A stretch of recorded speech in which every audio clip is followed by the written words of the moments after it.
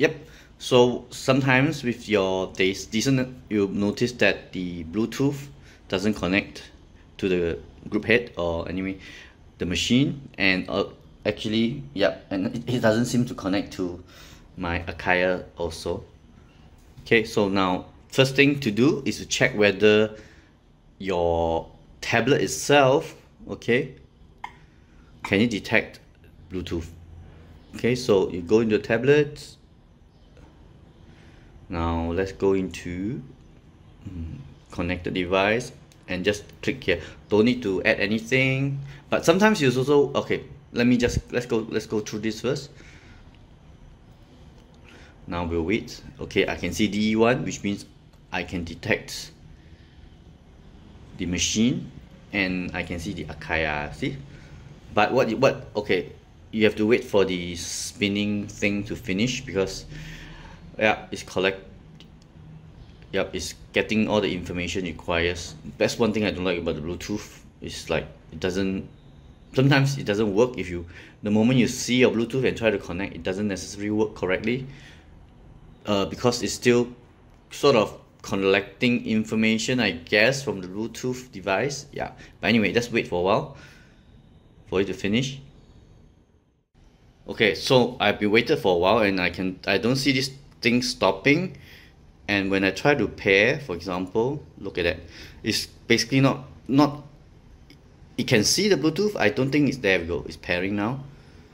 Let's try and okay I can pair with my Acaia but can I pair with um oh. What happened? Mm.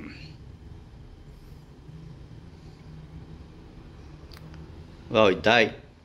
Okay it crashed right? You look at that. Nope you see no nearby? Okay I think okay so the Bluetooth crashed on this. And I think uh, so the, for this particular problem the obvious solution is I think let's try restarting. I'll do I like prefer power off and power on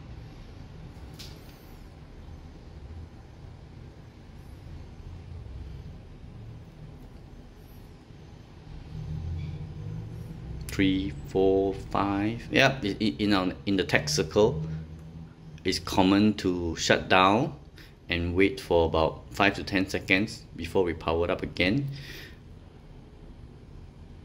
Oh okay. Okay powering up. okay up. so this is up now. Let's um, try. It's pretty fast. And see whether does it fix the problem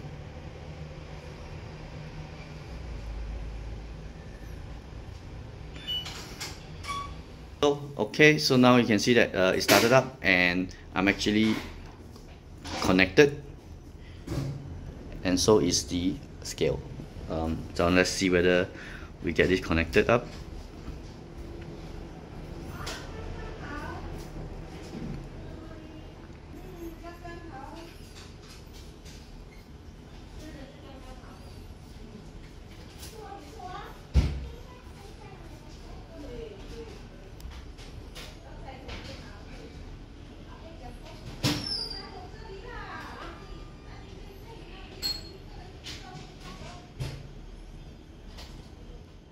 okay so now you see it's now ready. So okay so our problem has to do with the Bluetooth on the tablet. And yep so rebooting the tablet sort of resolves this problem